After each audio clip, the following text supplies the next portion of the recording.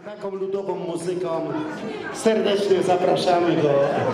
Proszę, przywitajcie go jeszcze raz z wielkimi brawami.